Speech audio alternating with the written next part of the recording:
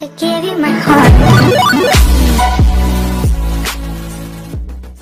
Hello friends तो कैसे आप लोग? आपका स्वागत है मेरे इस चैनल फिल्मी सेंट्रल में। फ्रेंड्स इस वीडियो में हम बात करेंगे आदि पुरुष फ़िल्म के बारे में। आदि पुरुष फ़िल्म रामायण पर बेस्ड है तो फिर इस फ़िल्म में हमें लंबी चौड़ी स्टार कास्ट देखने को मिलेगी ही। तो फ्रेंड्स इस वीडियो में हम बात करेंगे आदि पुरुष फ़िल्म में हमें कौन कौन से स्टार्स किन किन कैरेक्टर्स को निभाते हुए नज़र आएँगे। तो फ्रेंड्स इस वीडियो को पूरा देखिए। हाल ही में आदि पुरुष फ़िल्म की अनाउंसमेंट हुई थी, जहाँ पर हमें पता चला की प्रभास आदि पुरुष फ़िल्म में राम का किरदार निभाते हुए नज़र आएँगे इस खबर को सुनने के बाद लोग पूरे पागल ही हो चुके हैं।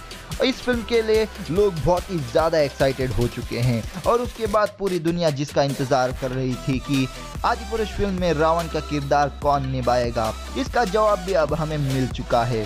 फ़िल्म के मेकर्स ने आदि पुरुष फ़िल्म से रावण का कैरेक्टर रिवील कर दिया है। और लंकेश यानी रावण का किरदार निभाते हुए नज़र आएँगे सैफ अली खान।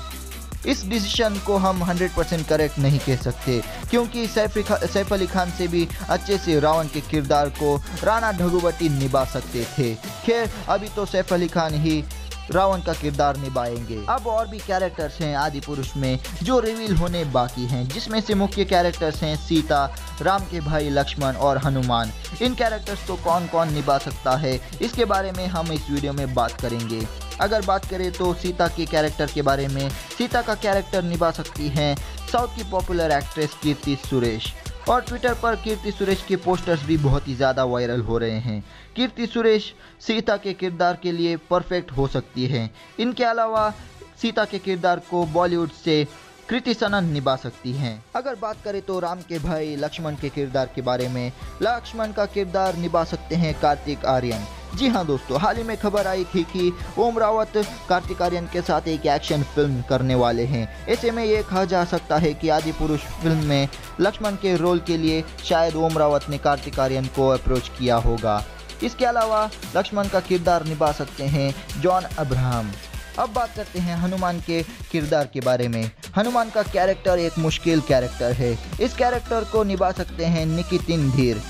इनको छोड़कर अगर किसी और एक्टर की बात करें तो राणा ढगुबटी हनुमान के किरदार को अच्छे से निभा सकते हैं। इन दोनों के पास ही हनुमान के कैरेक्टर को निभाने की क्षमता है। अगर बात करें तो सुरपनाका के किरदार के बारे में तो सुरपनाका का किरदार निभाते हुए नज़र आ सकती हैं लक्ष्मी मंचो, क्योंकि खबर निकल कर आई है कि आदि पुरुष फ़िल्म में हमें लक्ष्मी मंचो भी दिखाई देंगी। तो फ्रेंड्स, इस वीडियो में बस इतना ही। बाकी आप हमें कमेंट करके बताइए कि आपका क्या कहना है इन कैरेक्टर्स के बारे में। और कौन से एक्टर्स इन कैरेक्टर्स में फिट बैठते हैं, ये भी हमें कमेंट करके ज़रूर बताइए। अगर ये वीडियो आपको पसंद आई तो इस वीडियो को लाइक और शेयर ज़रूर कीजिए। और भी ऐसे फ़िल्मों से जुड़ी लेटेस्ट जानकारियों के लिए हमारे चैनल को सब्सक्राइब कीजिए। साथ ही साथ बेलाइकन को भी प्रेस कर दीजिए।